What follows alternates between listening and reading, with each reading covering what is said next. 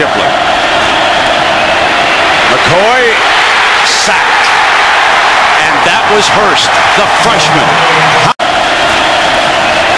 McCoy sacked.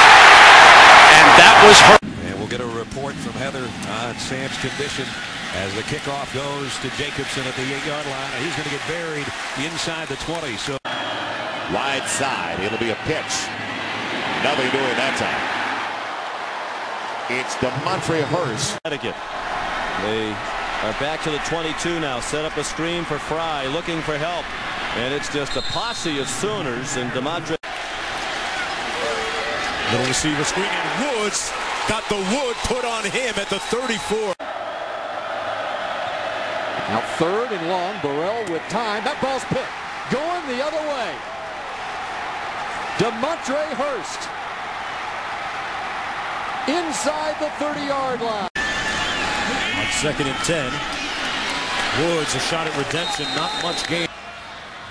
Blackman, he gets that flip again. And this time Oklahoma waiting for him. Maybe a yard gain and that's it. Kitty fires outside. Ball caught. James gets to the sideline. Out of bounds. It pick up.